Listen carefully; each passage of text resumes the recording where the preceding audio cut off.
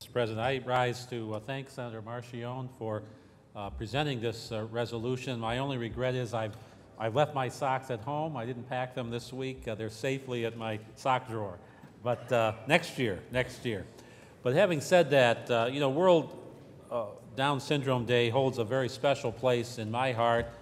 For close to 35 years, I've had the privilege of serving on the Board of Trustees at the Pathfinder Village, which is located in Edmeston, New York, uh, near Cooperstown. You know, this is a uh, world-renowned residential home and research facility. and It's a leader in community-based services for children and adults uh, with Down syndrome, as well as other developmental disabilities. You know, plain and simple, you know, Pathfinder is a very uh, special place.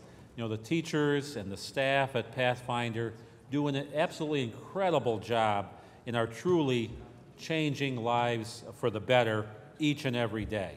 You know, Pathfinder has grown uh, significantly over the years. It now encompasses uh, some 300 acres. It includes a dairy farm, a community youth soccer fields, and recently opened a health center uh, for the community. But at its core, uh, Pathfinder Village is about the individuals uh, with Down syndrome. You know, it's very, very inspiring to see firsthand the boundless capabilities of those with Down syndrome. Uh, this is exhibited every day at Pathfinder and throughout the state of uh, New York, for that matter.